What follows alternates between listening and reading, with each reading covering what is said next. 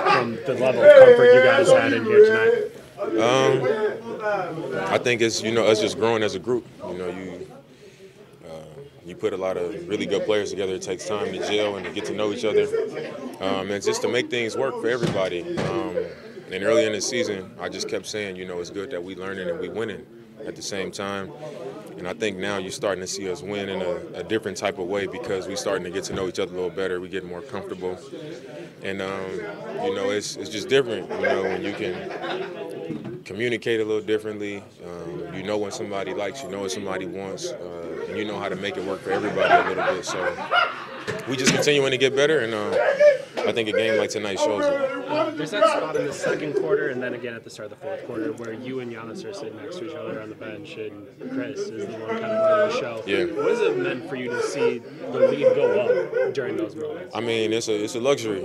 Um, you know, I think that's a sign of being on a, a, really good team is when you can have, you know, your best players on the bench or, you know, not all of your best players on the floor and, you know, guys can come in and just get the job done. Um, not just keeping the lead, but the lead going up, you know, us kind of pulling away on teams and uh, having a lot of vets on our, our team, a lot of guys with experience, um, guys that are connected. Uh, you know, that those types of things can happen on the floor when you have that type of group. So, um, like I said, it's a luxury, and uh, I think it just shows our growth as a team. What, what is it about this matchup? You guys look so comfortable against them this year. Um, I don't, I don't think it's about as much about the matchup as it is about us.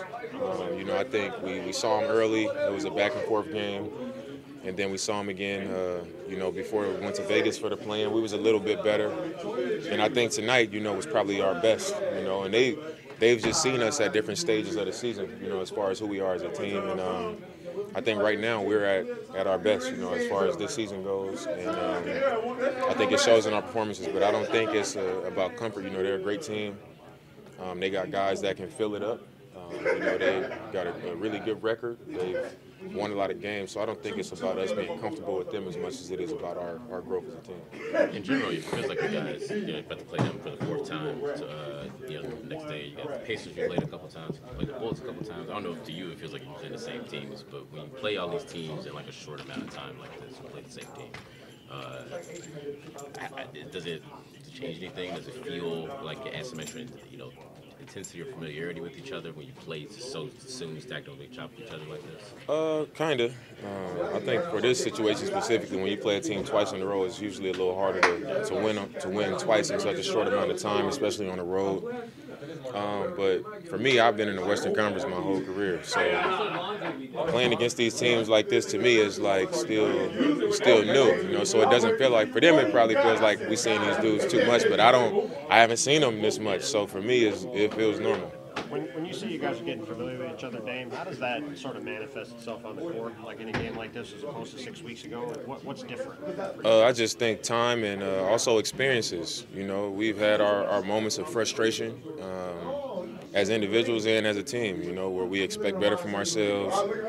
Uh, you know, guys coming into a new situation like myself, um, you know, Khris and Giannis, me being new to them. Um, you know, it's normal for us all to have moments of frustration, you know, because you want things to be able to work for everybody, but it might not be going how you want it to go, um, or what in a comfortable way for you.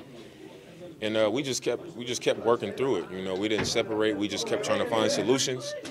And um, the same for us, just as a group. You know, trying to get used to a new coaching staff and everything. We've just kept every day. We don't we don't come in and let things kind of keep rolling. We come in and we try to find answers and we uh, try to improve. And you know, we're not ignoring things. We've addressed everything. You know, our struggles at times defensively, uh, our struggles at times offensively. You know, what's going to work for, for Khris? What's going to work for Giannis? How do we space the floor? What's going to work for me?